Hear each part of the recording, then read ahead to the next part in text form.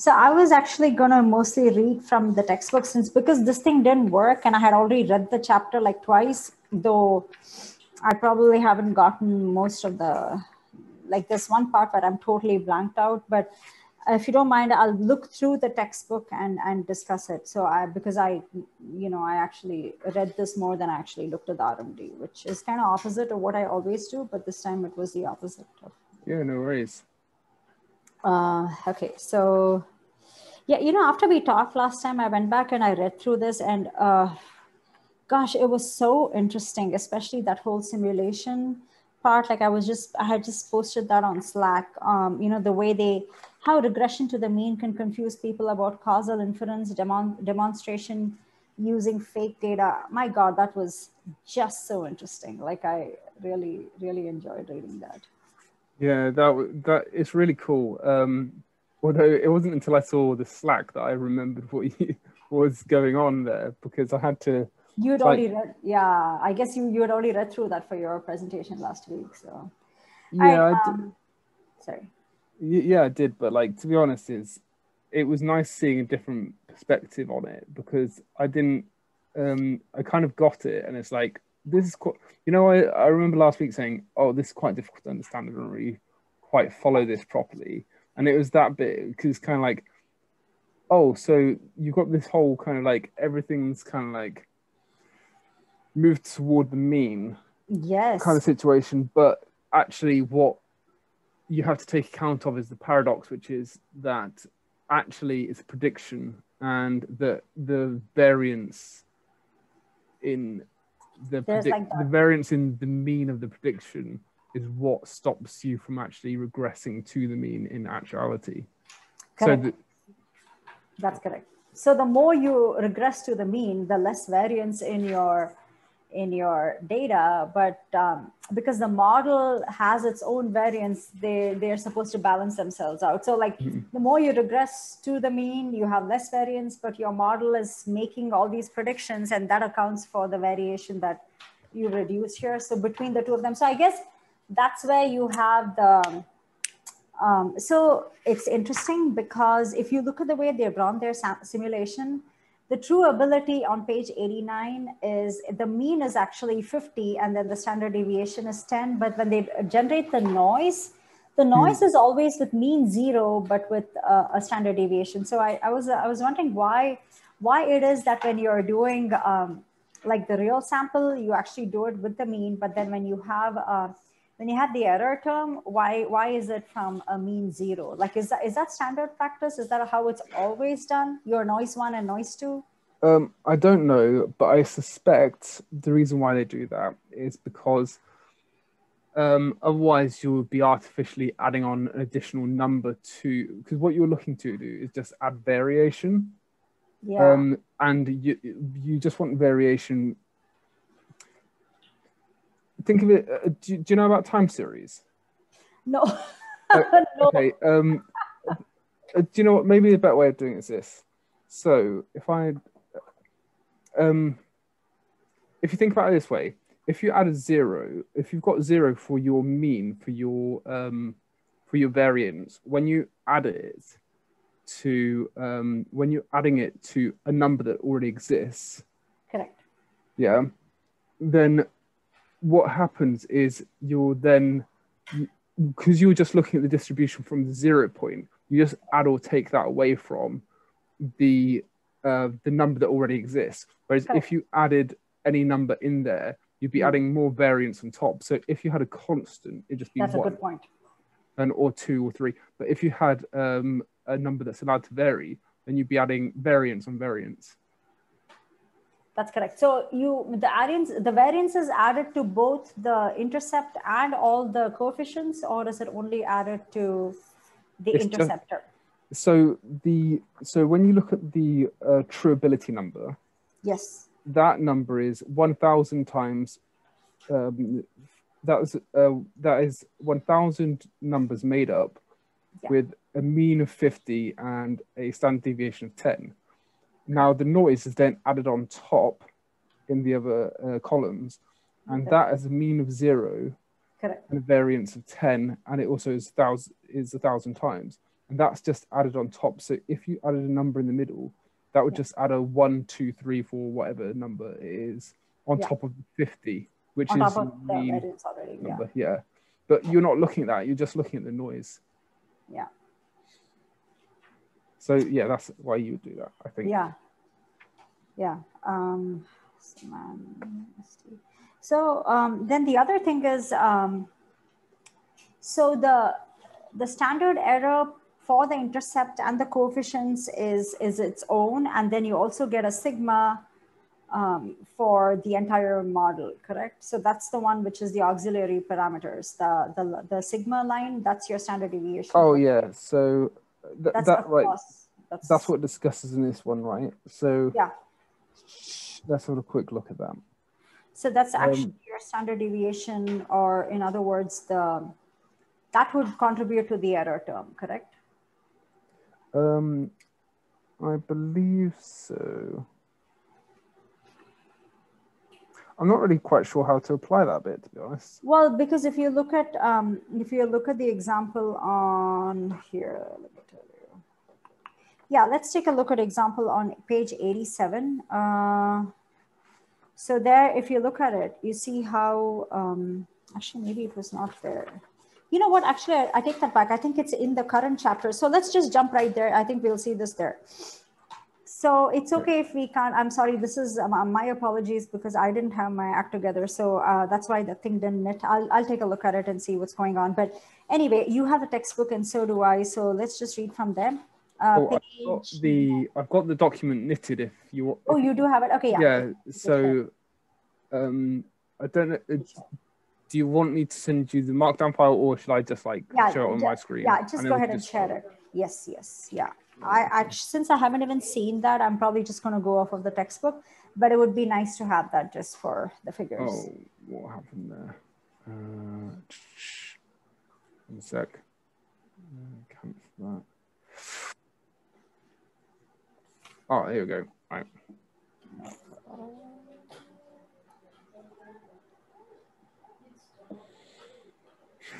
Please ignore the large amount of tabs. Oh no, is yours a Mac? Uh, no, it's a Windows computer. What's a Windows? Okay. I don't know what. Um, I don't understand what the big thing is about Macs, to be honest. Um, I mean, uh, You know what? I couldn't agree more with you, but I know the ones who are Macs, they are like uh, Mac users are. I've, I've got one, but f- when it comes to data analytics, I don't see the advantage.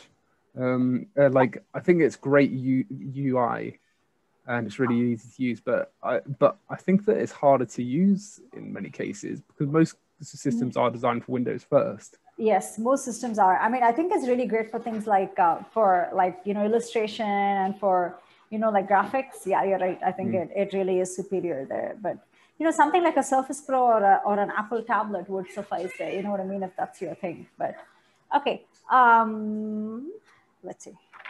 All right. Predicting presidential vote share from the economy.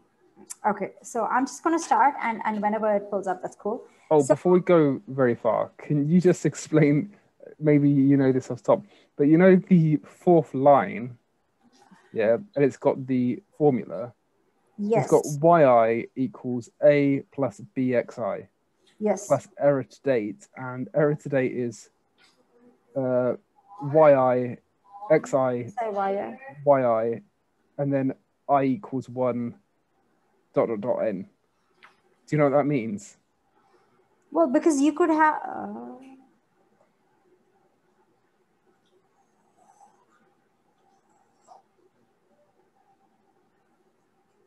well, oh, you know, bec- does it expl- explain variance between x and y? yes. And so then the one means that it's scaled to z- between zero and one. no, I think it's just so if you have 20 data points and for each value of x you have a y, correct? So if you are going to plot each value of x and y and and you have a and you you you have the outcome variable for each one of those, then you'll, in theory you'll have 20 20 different uh, equations or y extending from 1 through 20, assuming you have 20 um, such data points. So uh, I believe that that's what that's representing. Oh, okay. because each of them each one of those points are probably going to deviate from your your standard i mean your your slope line or your mean line right so i think that that's where your error term comes in with each one of those points but that's a really good good thing that you brought that up because now it's it's a really visual picture to be able to see that because each one of those terms would actually have an error and so when you create your regression model it's applying the what is that? So if you okay here, that's a really great. Error, it, error is sigma, isn't it? So error, you know, you know when you look at the model, the this the sigma is basically saying how much, um, how much potential error is in the model. Yes, that's exactly correct. That is your error. Oh no, it's not. It's the standard deviation. It's actually not the error. It's the standard error for your coefficients, but for the model, it's your standard deviation. That sigma is your standard deviation. Wait, say what? so, so when you report, when you look at the, uh, when you look at the coefficients that you get back from a model, um, you get back um, the error term on your coefficients, but on your model itself, it gives you the standard deviation. Is that not right? Okay. Um,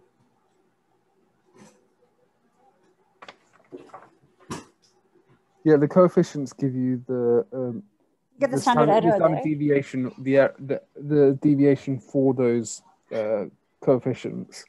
Okay, so that's not the standard error either. I wonder why they keep saying standard error because that's a little bit confusing.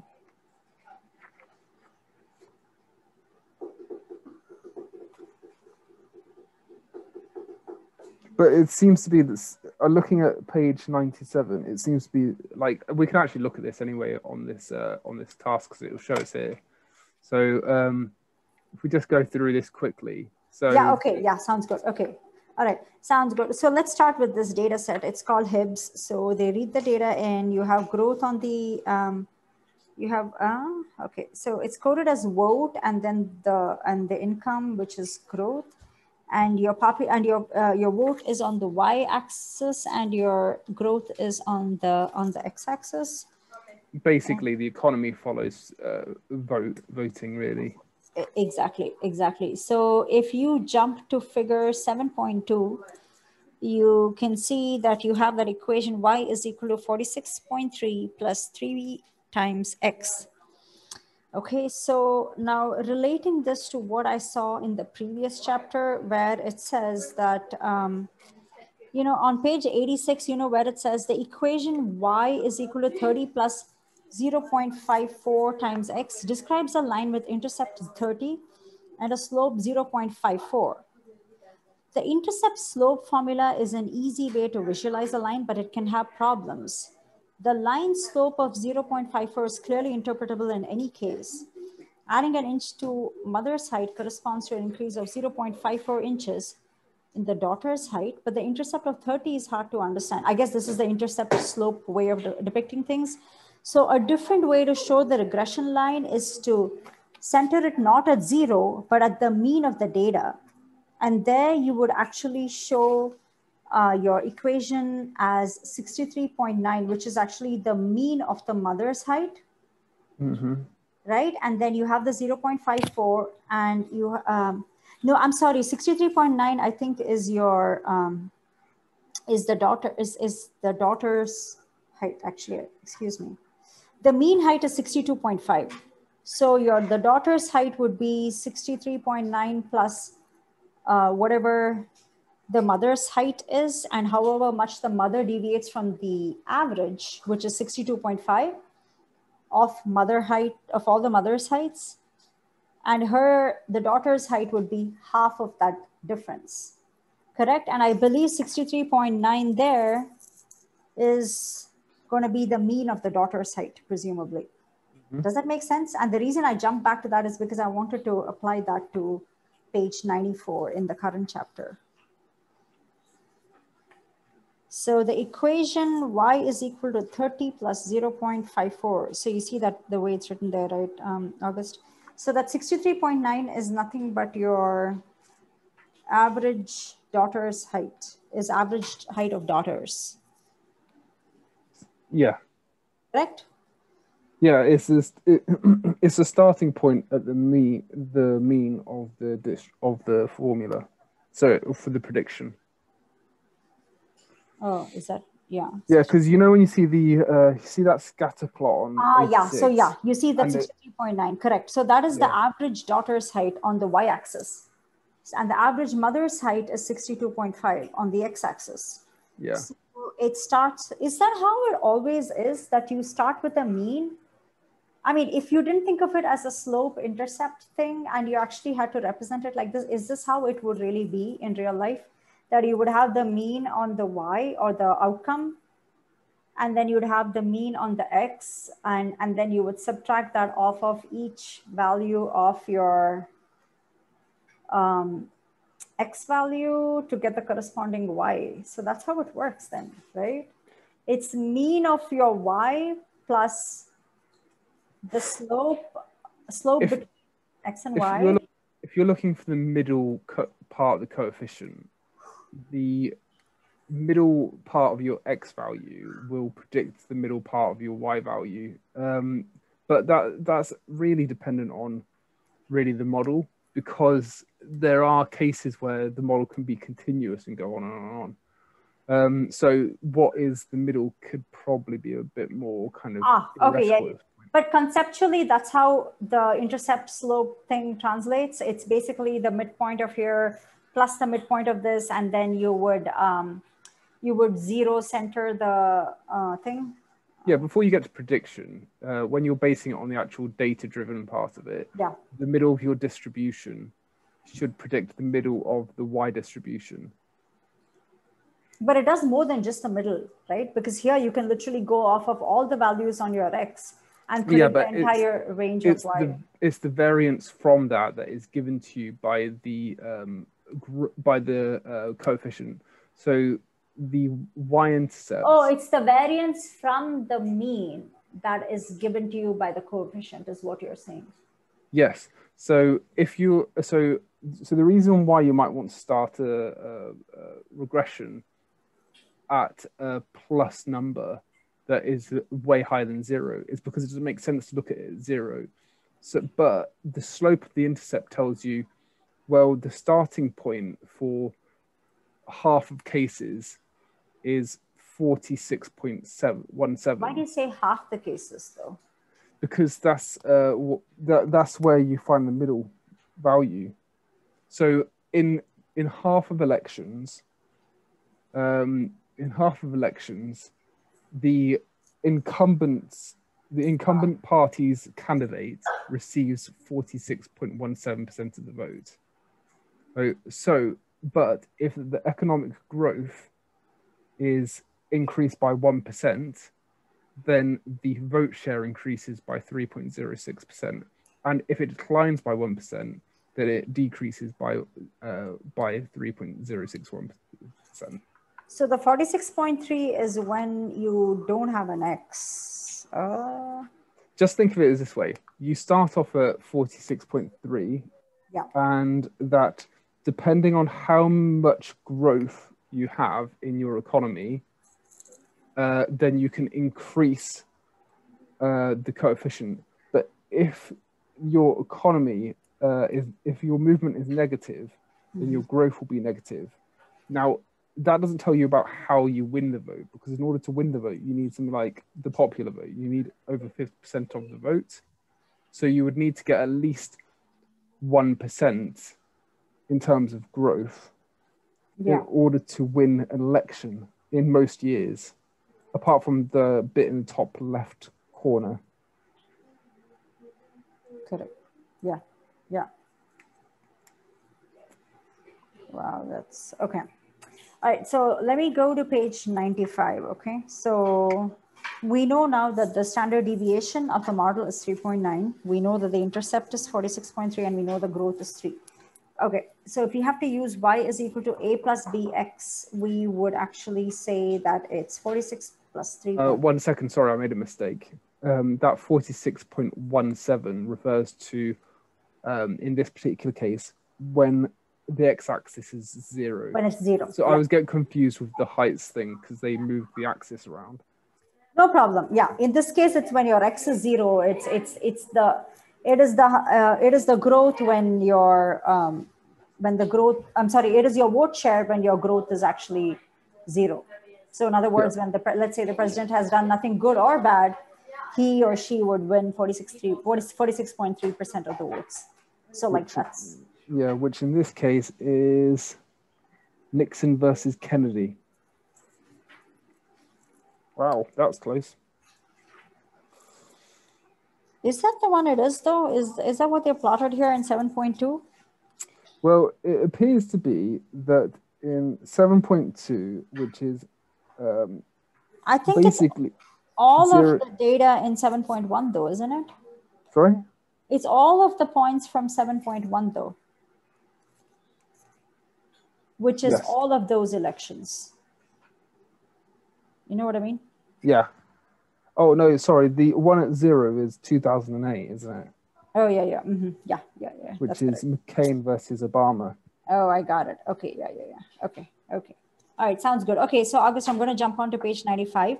At yeah, x sure. is equal to zero, the incumbent party's candidate is predicted to receive 46.3. That, that's just what we said. Each percentage growth of economic um, point of economic growth uh, corresponds to an expected vote share that is three, three percentage points higher than your intercept when there is none. So basically, if um, economic growth, yeah, so when each point increase in percentage growth, you would have three percentage points increase in your uh, in your vote share. Okay, so that makes sense. The standard, so see how here they call it standard errors.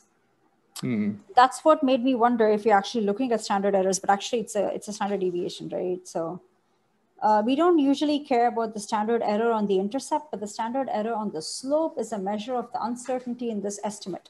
In this case, the standard error is 0.7. So this is what led me to believe that we're looking at standard error for the coefficients, but standard deviation for the entire model. Uh, but uh, I, was, uh, if you remember, Michael said before in the past that standard uh, standard error um, is basically the uh, kind of aggregated version of the standard deviation, but it's for the coefficient. So, so when you've got a mean for the coefficient, you use a standard error. But when you're looking at the uh, population parameter, which is the sigma value, that tells you the overall kind of like a standard deviation. I see. So at the level of the coefficients, we would typically use a standard error, but the others would be um, standard. Um, yeah, when you're talking about uh, when you're talking about the coefficients, you use standard error, and when you're talking about the population parameters, you talk about standard deviation. Uh, that's that's the impression I'm getting. Got it. Okay. Okay, makes sense. So in this case, the standard error is 0.7. So the data are roughly consistent with the slope in the range of, okay, so it's plus or minus the standard error, obviously, because mm -hmm. that's how your slope is plus or minus that. And the 95% confidence interval is your coefficient plus or minus two times your standard error. And that makes sense because you're covering the 95% range. And that's how you get your um, your confidence interval 1.6 and 4.4 so that includes the 3.0 so you know that the true values encompassed um, in that range. So the interval is well separated from zero and so uh, indicating that if the data had been generated from a model whose true slope was zero so if the true slope is zero that means your there is no variation at all because it's um, yes right yeah it means there's no it means there's no growth or decline. There's no growth. Yeah. yeah. Effectively, okay. if you have a straight line slope, there's no relationship. Yeah. Um, yeah, it tells you something about the data you have, which it neither predicts nor uh, yeah. yeah. Uh, okay, so you, are not explaining enough of the information. Using your model or your whatever. Metric. Yeah. Or alternatively, the noise is just mean the data is meaningless. Got it. I got it.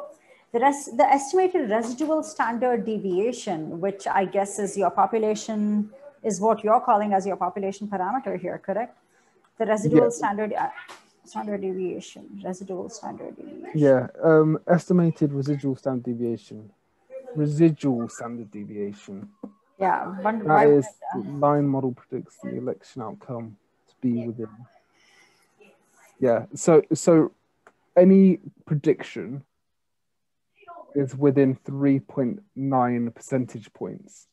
So if we say that we would predict that in um, McCain versus Obama, that um, that we could say that it could be almost four percentage points higher or lower for uh, the for McCain to win or lose, which he did lose. Um, but Yes. you know, because he's got no charisma. well, I don't know. I've, I've never really heard McCain talk, but I've heard Barack Obama talk. Yeah, well, but I mean, McCain had a lot of. Ca- I mean, I'm not saying Obama didn't have character, but McCain was was very genuine. I thought, like you know, the things he's done for the country and everything. Like you know, Well, in Obama's book, he's very positive about McCain, um, which is quite nice to see that political opponents can get on and have agreements and disagreements, but I like, mean- very amicable. but I, I, I, I felt like Obama was so wrong in so many ways. So I, I, this may not be a good discussion for now, but I think Obama was the master of really choosing his words well and really like saying it very, very, very politically correctly. And a lot of times his action didn't match those words. So I, I think he was a very skilled orator, but he didn't he certainly was.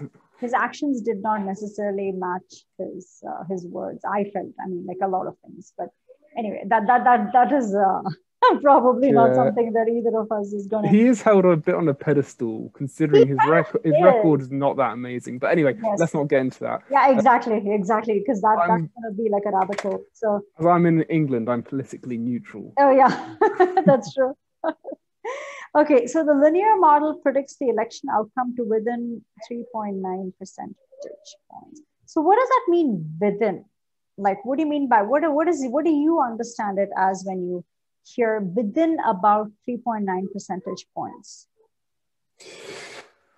Basically, it means that there is an 8% potential variation in the actual result 4% one way, 4% the other way. Roughly speaking, I'm, I'm being over the top when I say 4%, but you know, 3 point, you know, 3.9. 3.9 percent yeah Yeah. So one standard error or one standard deviation of that would be um, one standard deviation of that would be your um, 68% of your outcomes should Yes. So when you see Nate Silver making predictions about elections and saying what Yeah. the likelihood of winning is, he's basically basing it on the distribution curve and saying, well, in you know, actually gets to that uh, when it starts the likelihood yeah victory share because Clinton did win the popular vote by I um, swear to God, I got so confused. I, I, I mean, I really think that we should stop this at the midway point because I think that's going to be a whole new the whole separate discussion. But that likelihood really confused me like crazy. But yeah, we'll get to that in just a moment. Uh, mm, but anyway, so I see what you're saying. So it is four point percent, four percent this way, four percent this way. So the linear model yields a prediction of y is equal to 46.6. Okay, because of uh, uh, in the popular vote in the incumbent party. Okay, so that's fine. And then you can actually fit your regression line and then you can use the model to make predictions. And so here I am completely lost. So the 72% chance of a Clinton victory.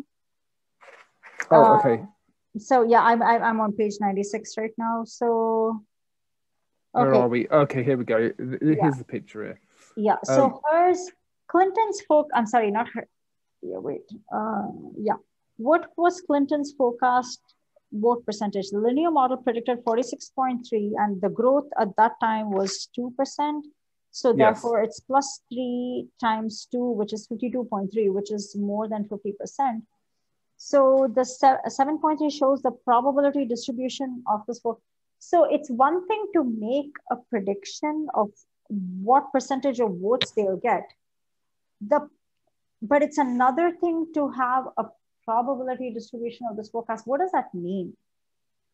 What is the difference between a probability distribution of the forecast and to say, so you see how it says this forecast vote percentage does not allow alone tell you how likely, so this is your likelihood, that Clinton could win the popular vote. We also need some assessment of the uncertainty in the prediction.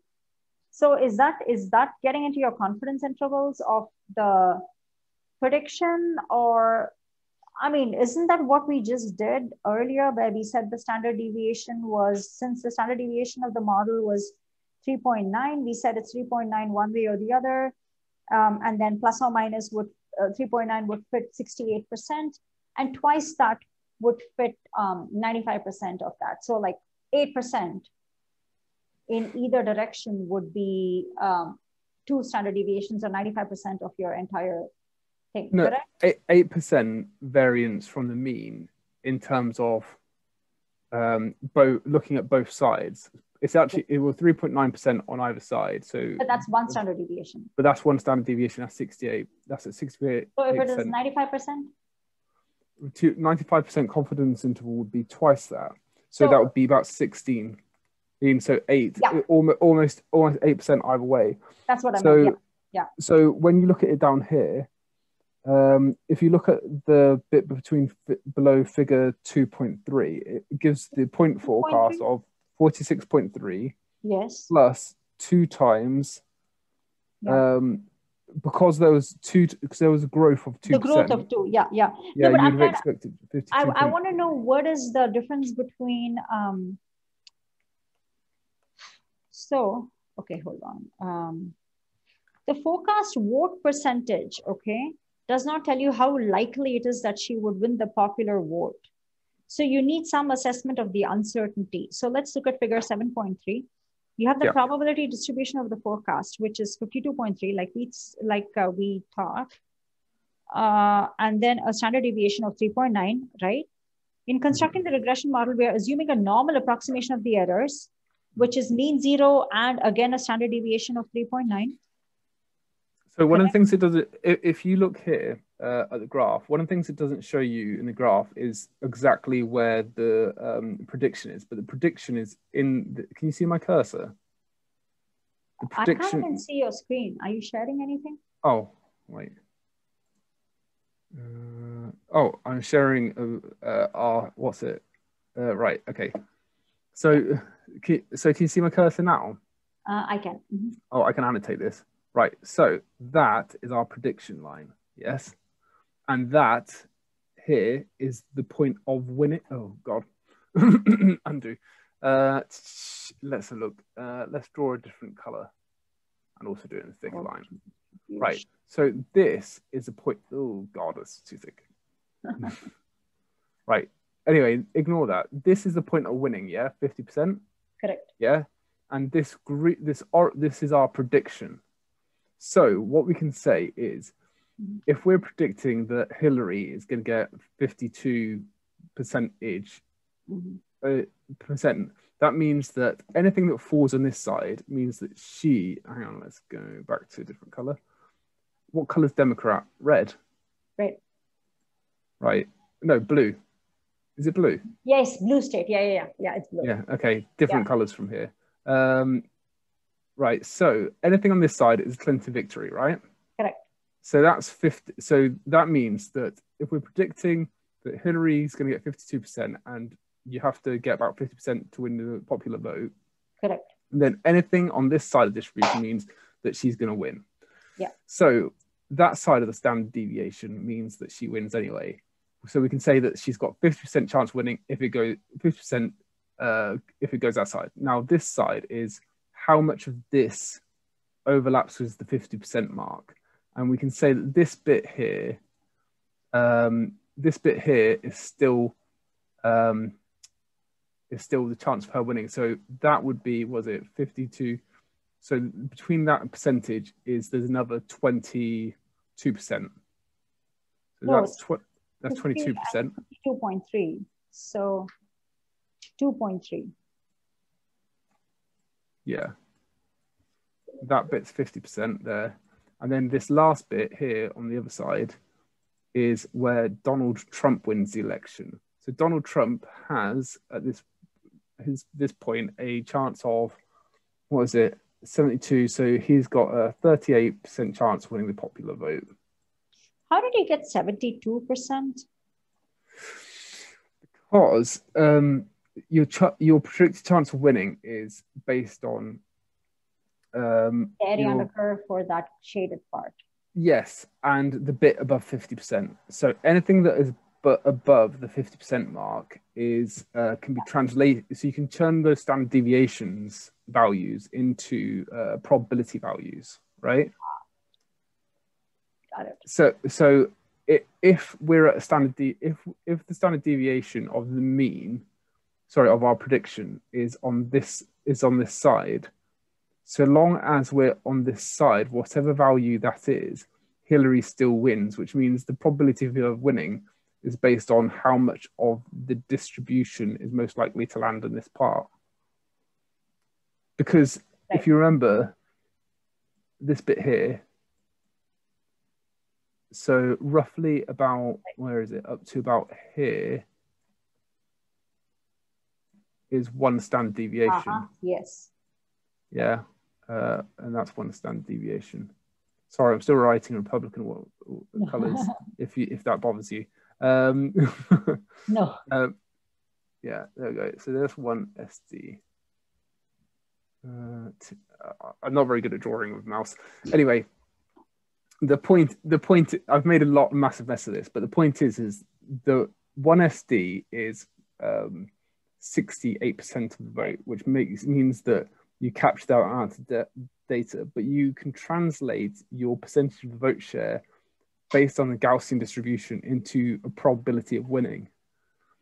Which is why, and the reason why you do this rather than saying she's going to win, uh, um, is because, like, say Nate Silver converts this into uh, one in, uh, one in, one in like a one in, no, uh, was it a two in three chance, which means that in a, there's one in three chance for Trump to win. I see. That's the wrong way to do that last part. Um, Yeah. But the, the point is, is that um, is that you can use the you can use the Gaussian distribution, and if you know the uh, if you know the curvature of your distribution in order to predict the probability that Clinton's victory will be above 52%, and then you can predict out the chance. So the way that he does it here, right? How do I get rid of all this? Uh, right, clear. Build drawings. How does he do that here? Yeah. So he creates robust T. I oh, so this is our data. I don't know what this is. Fixed effect. Oh, right. He's picking out the bits from the model. Oh, I think the fixed ones are the ones which can be explained by your model, but um, the the variable ones are the is your error term, something like that. So I don't like how he uses points. Oh, he does it for chapter, I suppose, yeah, yeah, exactly. because he's got model up here, Yes. which is called M7.1B. Yeah, yeah, that's exactly what it is. Correct. And then M7.1. What's M7.1 then? 1.1, yeah. Anyway, he, he- he's calculated, uh, what's it, Clinton's chance of winning there. And then what he does is uh, calculate two sides of the standard deviations and creates the residuals. Predict chance of winning. Okay, And then X is 51. Y, blah, blah. Oh, it's really hard. yeah, it's not easy, is it? Yeah. Because coding is quite good for this. Yeah. Penal. So let's look at that formula. 1 minus P norm 50, comma 52.3, comma 3.9. Okay. So, Oh yeah, that, that so that that's it. That's how he's got it. So he's got that from distribution. uh, so why is it 1 minus? Uh, If you think of fifty as this as saying that's the center point, correct. um, and then your mean is mu. So Correct. so the mean is the the mean is you from your prediction instead. So that's this bit down the middle, and then the SD is the sigma, which is used to create this. So I guess that bit. Why is it one minus though? Let's have a quick look at what happens if I just do P P norm 50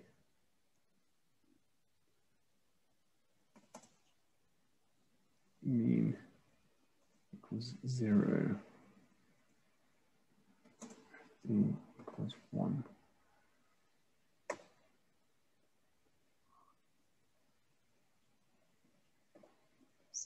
Right, never mind, ignore that. oh no, it's fine. Um, I think you kind of jumped ahead though, because we are still at. Um, oh, okay, sorry.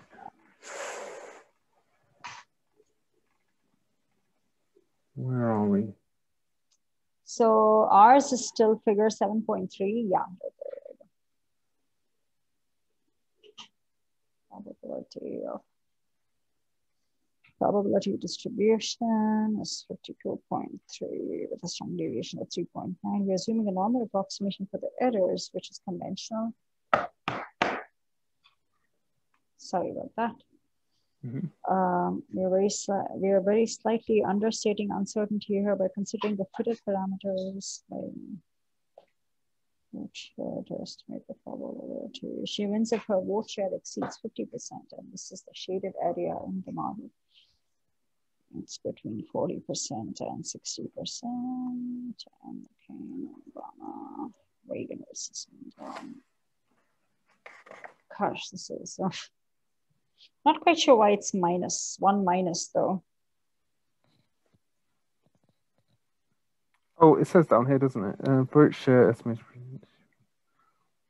So total area under the curve. The total area under the curve is one. So one is just basically like we're yeah. taking yeah is like the whole population. And then it says down here what it says down here um, uh, p norm is 50 um, 52.3 and then 3.79 which is the values that he plugs into there. Not really sure quite what the 50 represents in that case. Percent yeah and also, I don't understand why the range is between 40 and 65. Um, 2.3. Oh, it's just because that's like the most. Um, it's just because I think that's just the range that they've chosen. Okay. Because that's the most likely scores within three standard deviations. So if you were take, choosing like, you know, two standard deviations covers 95%, three standard deviation yeah. covers uh, whatever. So that, those are numbers that you get to maximum of away from the uh, predicted value. Yeah.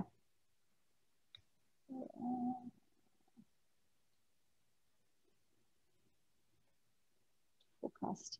In the event, Clinton received 51.1% of the popular vote, well within the forecast distribution but she lost the electoral college, which is decided by which states are won by each candidate. And to forecast the electoral vote winner, you need to predict the vote in each state, for which you need a multi-level model, and that's beyond the scope of this. So the reason the, the popular vote is possible is because it's across the entire nation, whereas to predict who wins each state has to be has to be modeled at each state level. So I guess it's really hard to model like yeah, and I know like both Nate Silver and all the other economists, uh, the groups they they try to do that, and that was where the complexity was because they would they were doing state by state election uh, forecast forecasting.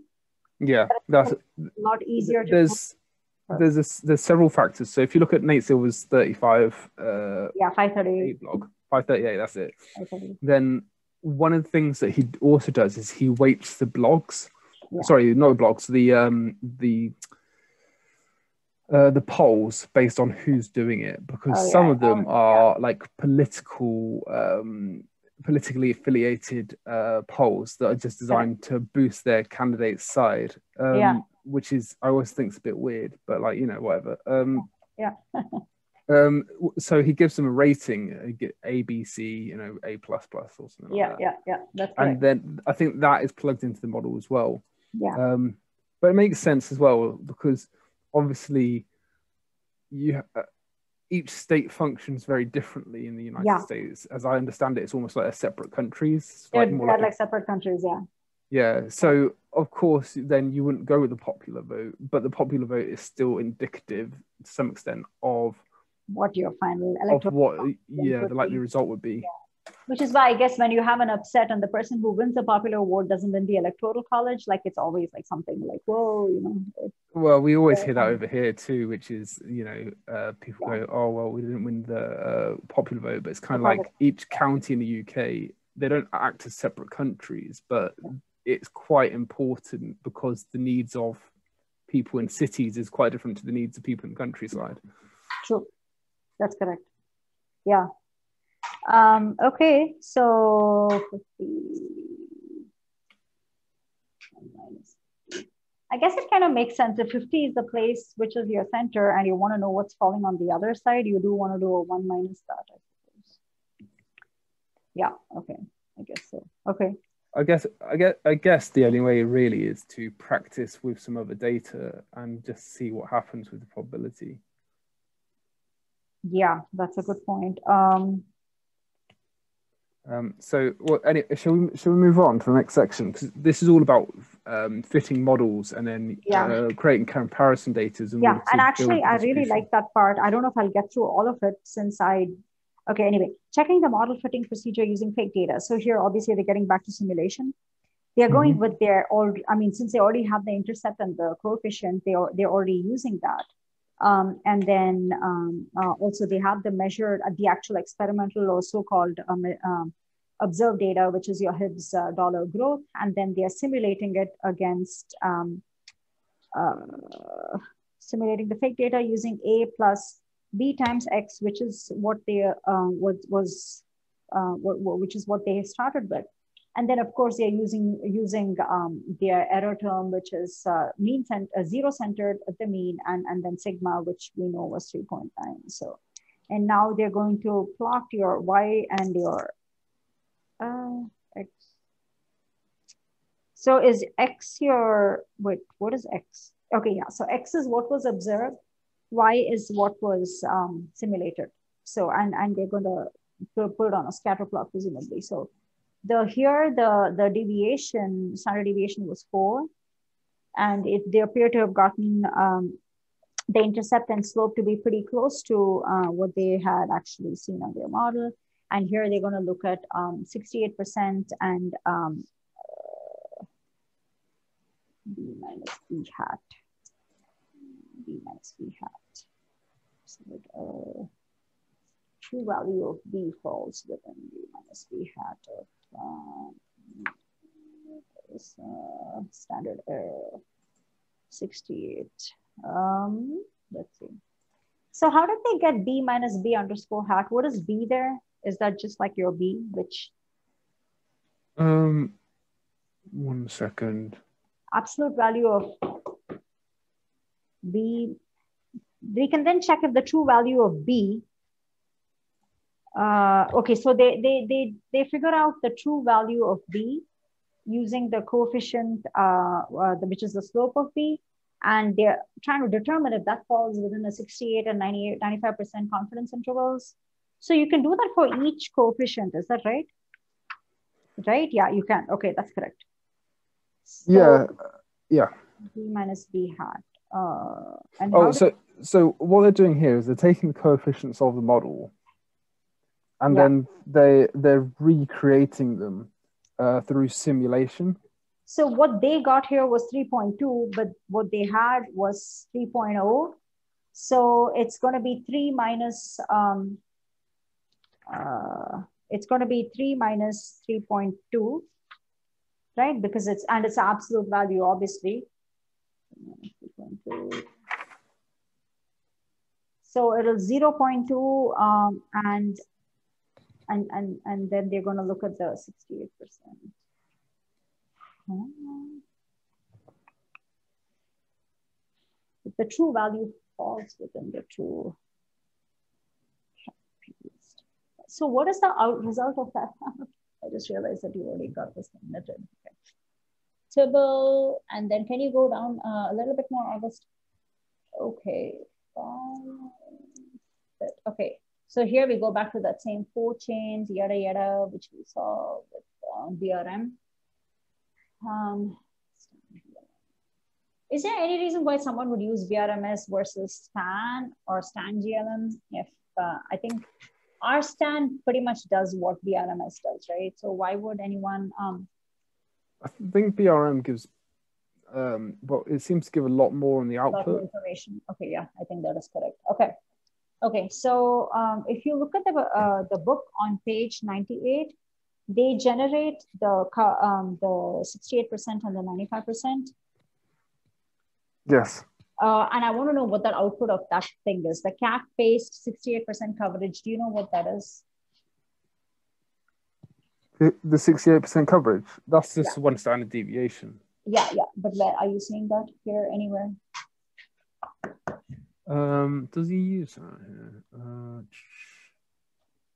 um, Due to simulation variance, our results are a little different to those texts, but they're pretty close. To, close to the data. With, okay. le- yeah. Yeah. Uh, data are composed of only 16 cases. After all, oh yeah, that is a big problem. Oh yeah, here we go. So hit, hit, we get onto this bit here. Okay. Uh, so that's your B hat. That yes. so B hat is your average beta is your mean beta value, and BSE is your standard error. Um, uh, so, what's the yeah. difference between B and B hat? So it's 3.2 and uh, it's 3.2 and 3, right? Because that's what they get on their model. Exactly, and yeah. So that's 0.2, which is less than, is that less than one standard error?